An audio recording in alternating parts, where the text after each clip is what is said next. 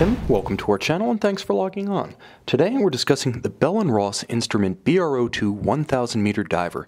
You can see the stainless steel automatic dive watch from Bell & Ross on our website, purchase it there, and if you enjoy these videos, please subscribe to our YouTube channel. You can also click on the card in the upper right hand corner of the screen at any time to see our full listing for this watch, with additional accessories included, high resolution images, and naturally complete pricing details.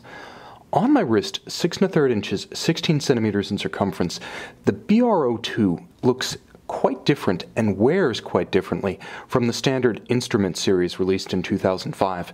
That family of watches looked as though it had been pulled from the flight decks of aircraft and was largely cushion shaped, as broad as they were tall. This watch seems to have been taken from the gauge cluster of a submarine, and that befits its purpose as this is a true ISO 6425 qualified international standard dive watch. On the wrist, six and a third inches, 16 centimeters in circumference.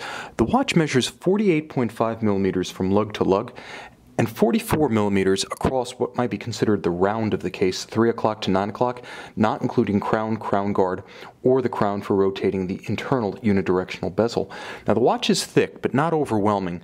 Even though it's 17 millimeters in girth, you can see that the Flanks of the case and the bezel are generously sloped, so you should be able to fit this watch underneath a large coat or a loose sweater in sporting style. Now, the watch has a very comfortable and beautifully tapered, full width vulcanized rubber strap.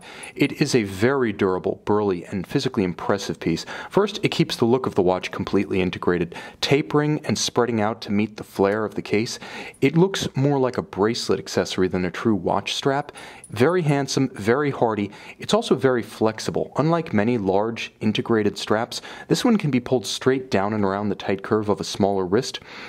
It's wonderfully supple, and on its underside, it has abundant relief channels, the better to allow moisture, sweat, grit, or sand to release itself from being pinned against the wrist on a hot day when this watch is being worn in action. Now, you can also see that there are many relief channels laterally to allow water, sweat, oil, and sand to escape from underneath the pockets of the strap. And it's paired with a classical oversized trapezoidal, brushed and polished pin style buckle for easy adjustment on the fly.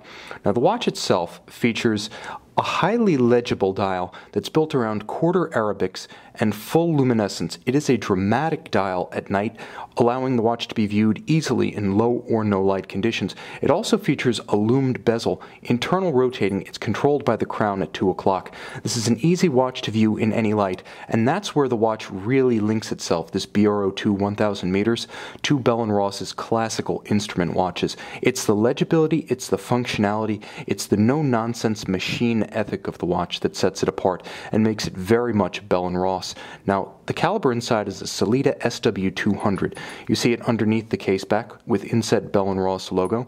The movement has 25 jewels, bidirectional automatic winding, and it's effectively an independently made replica of the ETA 2824. Now, replica is a bit of a loaded word, but the bottom line is that all of the classical ETA calibers, the 6497, 7750, 2824, and 2892, have long since seen their patents expire, so anyone can build them, and Sellita builds a good one with hacking action such that when you pull the crown, you do stop the balance, allowing precise synchronization to a known accurate reference reference time, fitting for a dive watch, and in the second position, there is a quick adjust so you can rapidly reset the discrete date indicator at 4.30.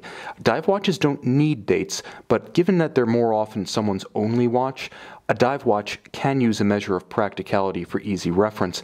Now, with 1,000 meter rated depth, this watch is actually remarkably honest, as Bell & Ross acknowledges what few do, namely, and you can see it engraved on the case back, that 1,000 meters is not 3,300 feet.